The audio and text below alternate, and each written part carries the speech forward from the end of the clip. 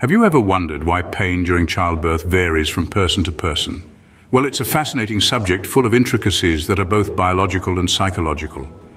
Childbirth, for many, is a rite of passage, a transformational event marked by intense physical sensations. The experience often likened to strong menstrual cramps or intense pressure in the lower abdomen and pelvis varies greatly among individuals. As labor progresses and the cervix dilates, contractions become more frequent, longer and stronger, amplifying the sensation of pain. And then comes the pushing stage. Here, the baby is pushed through the birth canal, leading to intense pressure and stretching sensations in the pelvic area. The crowning of the baby's head can even evoke feelings of burning or stinging, but pain, as many of us know, is a complex phenomenon it's not merely a physical reaction, but an interpretation by our brains. And that's why, despite childbirth being often described as one of the most painful experiences, many find the pain manageable with the right support and techniques.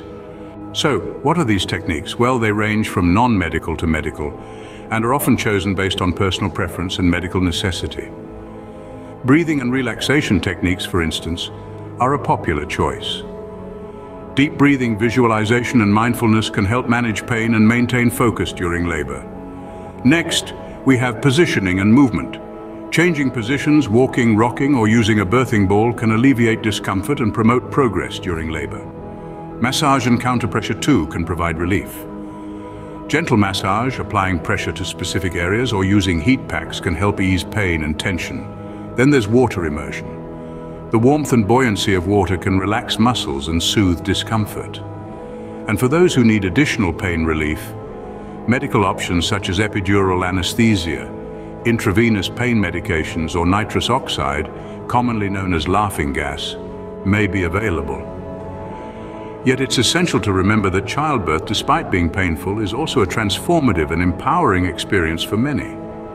The intensity and duration of pain experienced can vary widely, making each person's experience unique. Communication is key, both in expressing preferences for pain management and in ensuring access to supportive care throughout the birthing process.